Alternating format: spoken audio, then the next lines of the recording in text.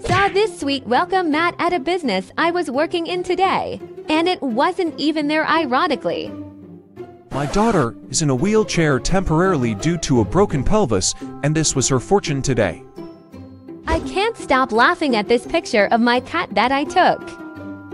Someone edited Burning Man's Wikipedia page recently.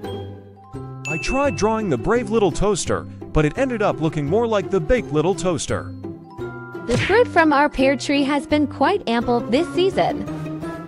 China's Great Wall damaged by workers looking for shortcut. I'm putting you in Gryffindor. The frisbee that didn't last very long.